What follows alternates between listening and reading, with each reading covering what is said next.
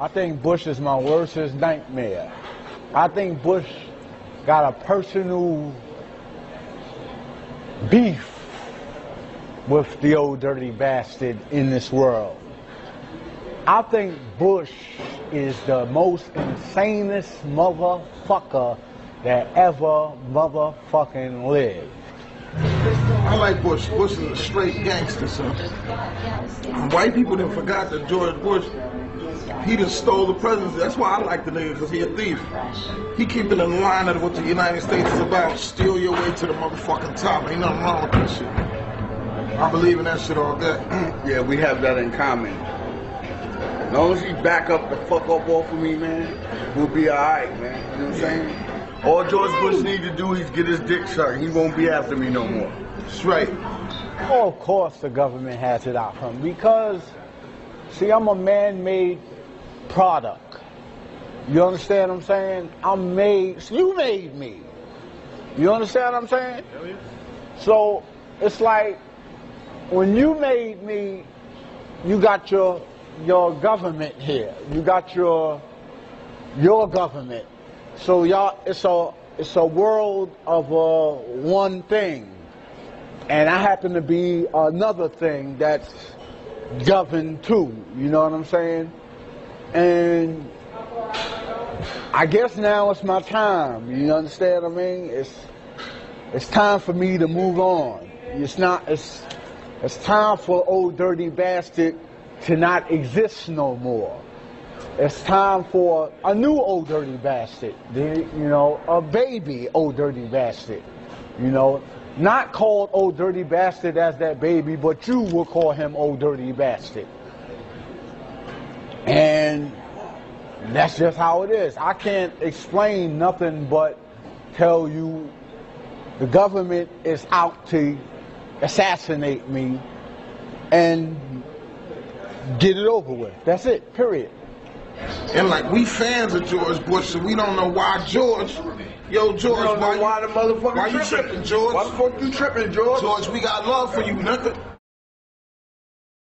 um, if you've learned anything new in jail while you were in, t- in jail or any Learn niggas trying to kill a nigga, man. Period. yeah how, how so Government, man. I don't know, G. They on, they on my ass. You know what I'm saying? I don't know how to shake these these cats. You know what I'm saying? These these these these are the big cats. I'm not talking about these motherfuckers is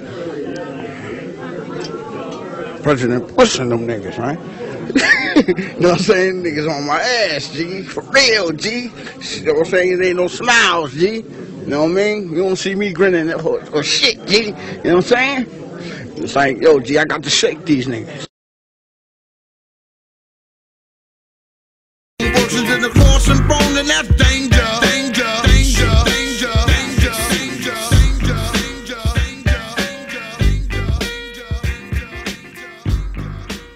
You were both in Skull and Bones, the secret society.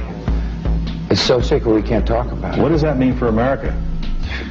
The conspiracy theorists are going to go I'm sure they are. I don't know. I haven't seen the web. Number 322? Uh, first of all, he's not the nominee, and uh, but uh, look, I look for... Are forward. you prepared to lose? no, I'm not going to lose.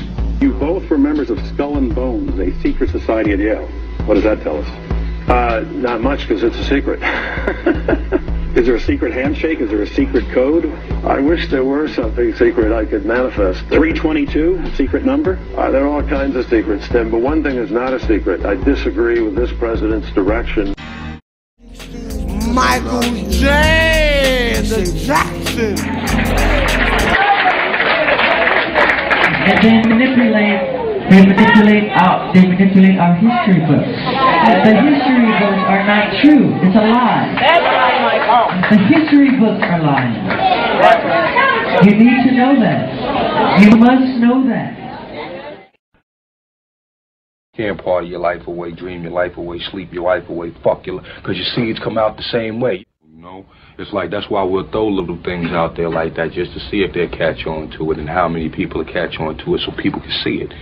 But it's like sometimes I start to think like the hip hop audience ain't that intelligent sometimes, you know, but they don't pick up on it because they let the the corniest shit get the most airplay. You know what I mean? The the the most unconscious shit get the most airplay. It's like what the fuck is wrong with y'all? The government. Yeah, and then run up on me talking about keep it real. Don't run up on me saying keep it real if you ain't supporting the real. The You know what I'm saying? Bottom line. The government brainwash our people with the mind control theory. That's what they do. So that makes our people like it. They keep playing that same song. The same song keep playing, gonna start to like it. You start to get probed with it. You start to get cloned with it. So then for the clone exists, then it just takes over. It takes over the human body. It takes over the spirit. It takes over the soul. And therefore, behold, that's what you got. That is that your mental your mentality stays direct on the straight and narrow. You know what I mean? The straight and narrow path. Because a lot of people can be easily led in the wrong direction, and hard to be led in the right. You know. That's why a lot of this hip hop shit is just copycats. And a lot of copycats get over. Let's just stop this, alright? We're gonna start pointing the finger anyway at all the fake hip hop shit. Word. When we say the fake hip hop shit, we talking about the government. Listen, I love the government, man. CIA, FBI, I love y'all niggas. Don't come knocking on my fucking door. I love them too. They all my children. Keep us safe. And it's like, it, it goes on and on. You know how many Biggie Smalls and Tupacs there is out there, man? That fell victim. You know, we was brought up in a system that didn't give a fuck about us. That's why we live in the conditions that we live in. And then as we get older, it's like our young, our black sisters get a better chance than we do. And my people, Because they're not, so threatened by us, man. I'm not crazy at all. Okay? Everybody always saying that Dirty is crazy. Dirty is not crazy at all. Dirty just see, foresee a lot that a lot of people don't foresee. That's how I'm gonna do, man. What, what's up, man? How was the show, man?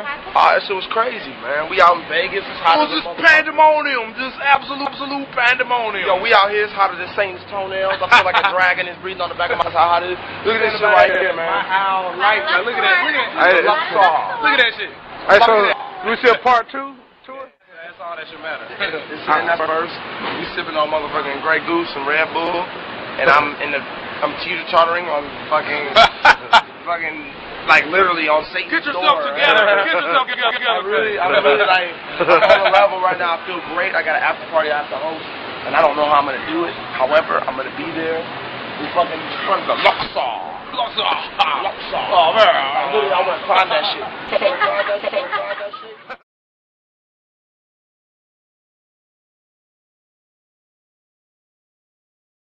Aleister Crowley, who dubbed himself the Beast and the most evil man alive, was a fellow traveler with some of the most powerful people in British society, including prominent royals. The Church of Satan, the Temple of Set, the OTO, the Golden Dawn, Skull and Bones, Bohemian Grove, the Blue Lodge, the Scottish Rite, the 33rd Degree. It seems like there are hundreds of different occultic groups, but all they are are different denominations in the same religion the Egyptian and Babylonian mystery schools. Compartmentalized pyramidal structures with a bunch of well meaning dukes at the bottom, managers in the central areas, and Luciferian death cult adherents at the top. In India, it is Kali. The Mayans and Aztecs' greatest gods were the gods of death. It was the same in Egypt and in Babylon, as well as Rome and ancient Greece. in Britain had some of the best equipment uh, that could be produced, way ahead of its time in recording studios. But uh, they knew uh, how it would affect the mind, and they were doing experiments even before the Beatles using uh, uh, uh, electroencephalograph machines and playing types of music to youngsters, especially who are more prone to altered states, you might call it, even uh, close to a meditative state, which some music can put you into. Classical music can also do the same. And um, and they also knew that they could bring out anger uh, by certain types of music. And, and at the moment, they're using a lot of techno sounds to get us computerized sounds uh, because one day we'll hear that in our heads all got brain chips.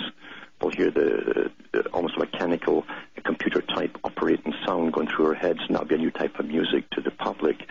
But when it comes to uh, the promotion of mind-altering drugs, that was that was one of the, the functions that Aleister Crowley was given by by what became MI6, who now admitted have admitted that he worked for them.